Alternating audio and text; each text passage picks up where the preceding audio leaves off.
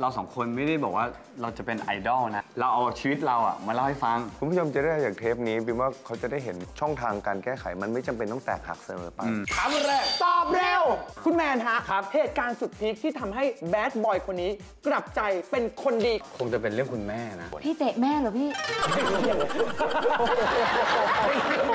พี่บีมครับต้องสูญเสียแค่ไหนถึงหยุดความห้าวของพี่บีมได้ เพื่อนตาย ที่เขารอดไม่ได้ก็ไม่ใช่อะไรนะฮะตอนที่เขาตีกันเขาไม่ได้ไป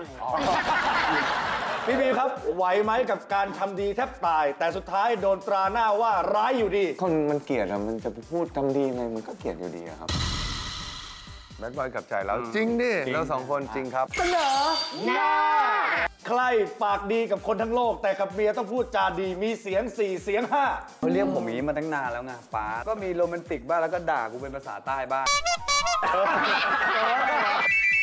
ฮะ เห็นสัตว์ตัวเล็กๆ ไม่ได้ ต้องเข้าไปจัดการให้มันสิ้นซาก ผมกับภรรยามีปัญหาเรื่องแรงสาบไปชั่วมากทำยังไงก็ได้ให้มันเอาออกไปอย่างมีชีวิตไปปุ๊บผมก็ไม่เลยอยู่เป็นคุณแมนฮะ โดนหมอดูทัก แต่งปุ๊บต้องเลิกปั๊บฉะกลับยังไงให้หน้าไงายตื่นดื้อตื่นดื้อพี่บีมครับ ชาชาเปิดเจอแชทลับของเรากับพิตตี้สุดเอ็กแก้ตัวยังไงไม่ให้บ้านบึ้ง ให้ไปคุยเลย จีบอะลองจีบลองจีบ ไม่กล้า